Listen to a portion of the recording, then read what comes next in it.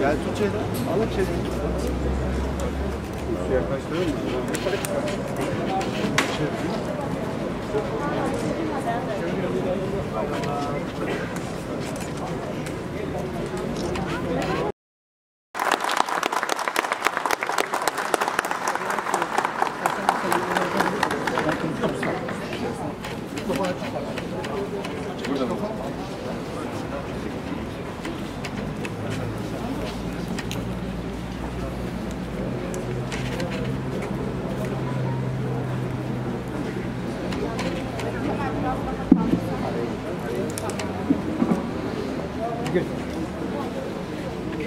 Sayın İstanbul Milletvekilim Gürsel Tekin, Cumhuriyetimizin bekçisi, Cumhuriyetin ve ulusumuzun değerleriyle bütünleşmiş, bugün buraya zaferimizin 98. yılını kutlamaya gelen Zeytinburnular. Hepinizin bayramını kutluyorum, tebrik ediyorum.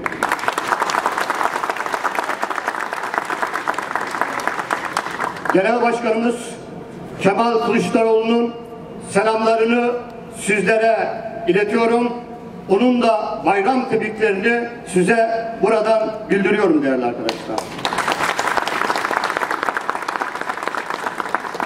Bundan 98 yıl önce Anadolu işgal edilmiş. Kadim topraklarımız düşman postalları altında kirletilmiş.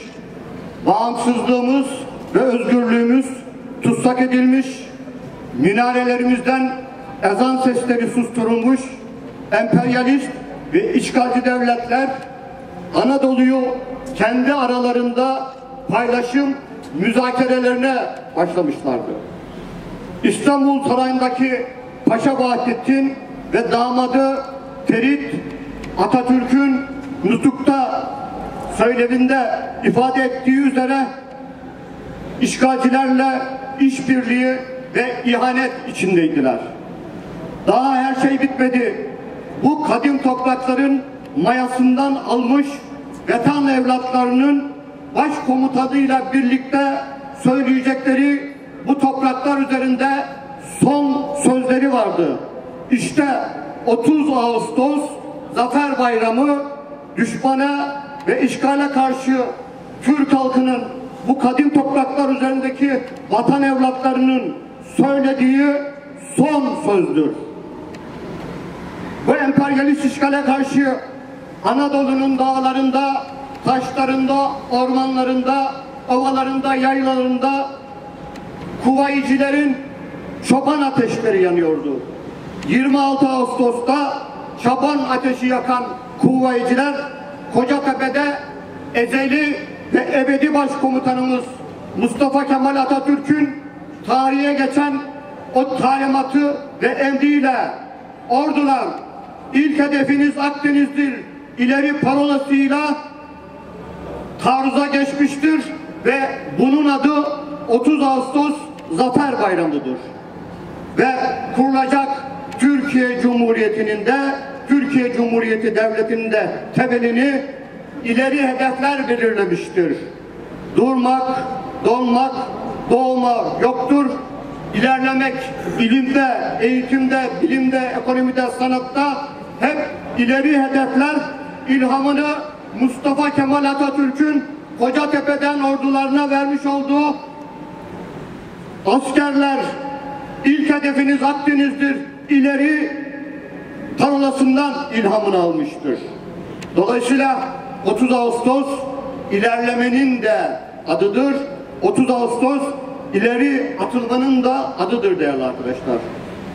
Bu bayramı kutlanması sadece bugünün meselesi değildir. 30 Ağustos 1922'de künyemizde kazanan tam bağımsız Türkiye idealinin tezahürüdür 30 Ağustos. Dün 30 Ağustos 1922'den önce Mustafa Kemal Atatürk için ölüm fermanı çıkaranlar şimdi bugün de bize 30 Ağustos'u kutlanmasın genelgesi yayınlıyorlar. Yine dün 30 Ağustos Zafer Bayramı için keşke Yunan galip gelseydi diyen Testi Kadir'e itibar edenler bugün de bize 30 Ağustos Zafer Bayramı'nı kutlamayın diyorlar.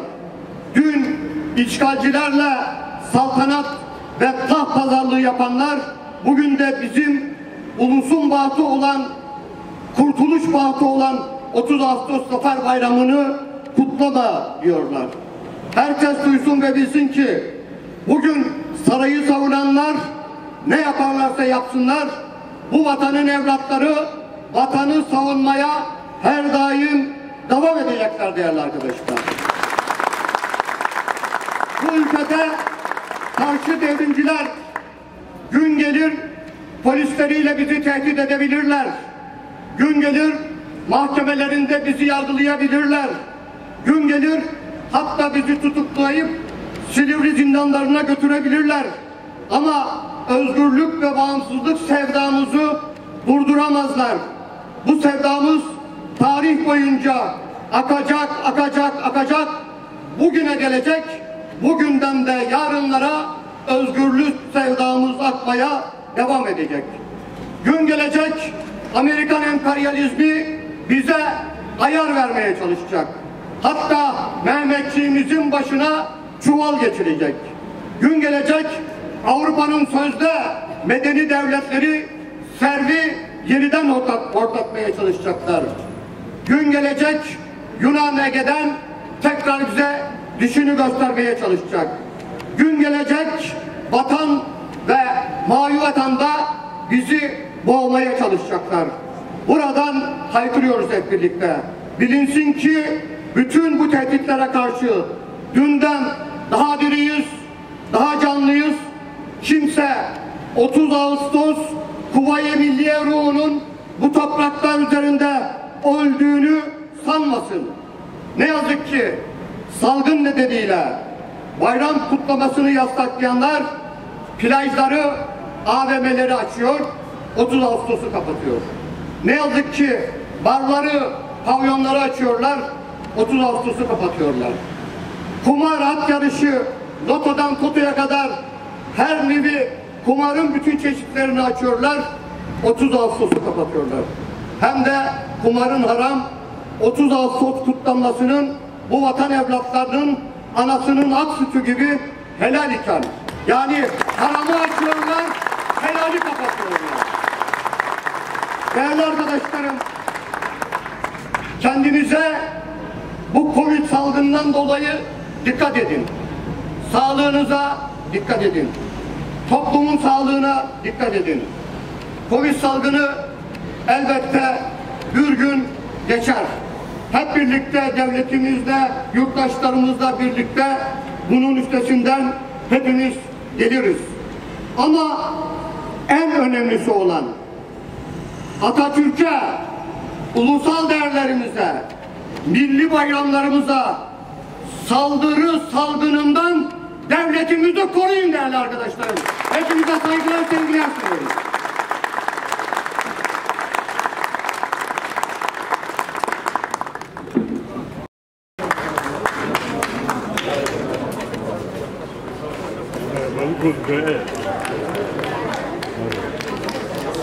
Burak Özki.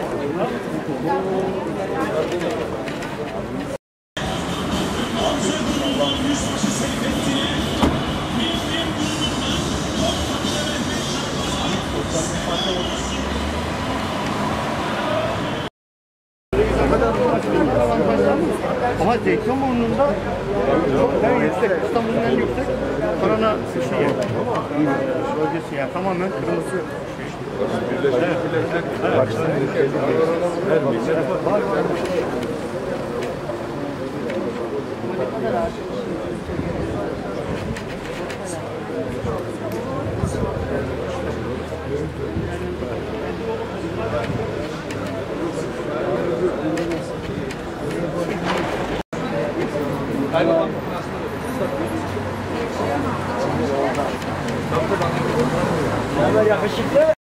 Gelecekleri varmış bir gelsinler.